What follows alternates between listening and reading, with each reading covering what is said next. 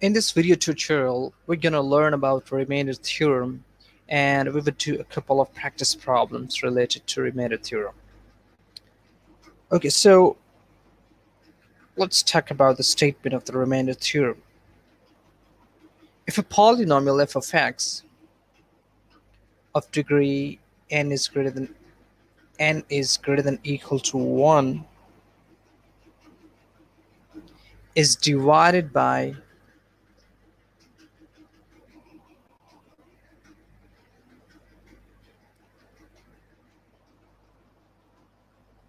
x negative a till no x term exists in the remainder then f of a is going to be remainder.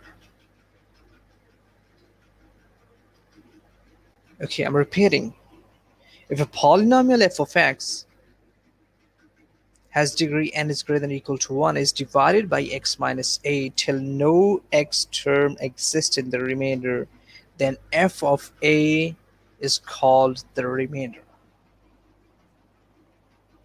Okay, so in previous class, recall the long division that you have been doing, and sometimes when when one polynomial is divided by the second polynomial, and when you would do some a couple of steps in the long division you would find no remainder. But in some cases, you would be able to find a remainder in terms of a constant or in terms of a variable. But remainder theorem gives us a shortcut strategy and method to figure out the remainder. Let's take an example.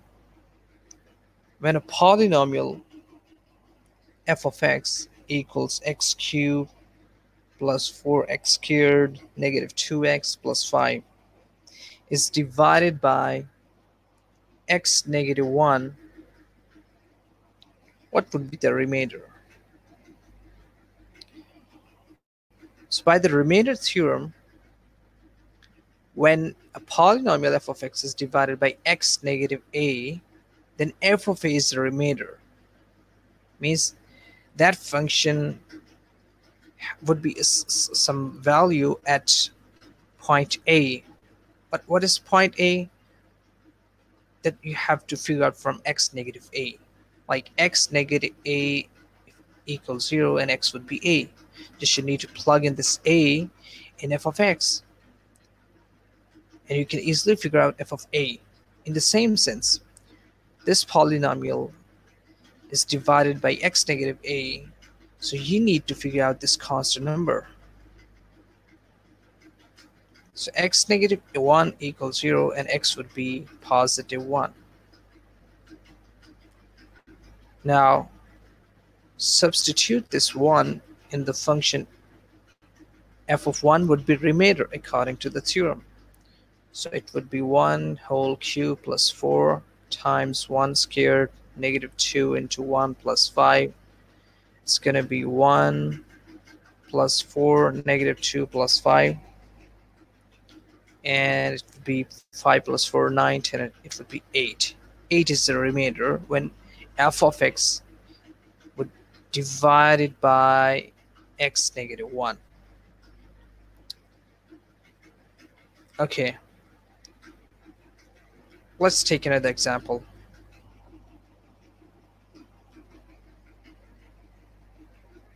That's pretty simple when a polynomial is divided by another factor and there's given that the remainder is something and you have to figure out the value of a constant that is in the polynomial. So polynomial f of x is x cubed plus kx squared negative 7x plus 6 has a remainder negative 4 when divided by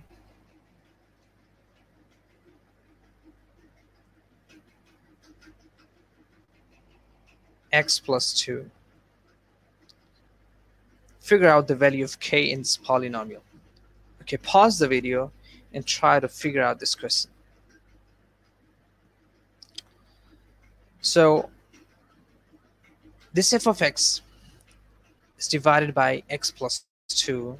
The remainder is negative 4. So substitute x plus 2 equals 0. You would find x equals negative 2. So basically f of negative 2 would be the remainder.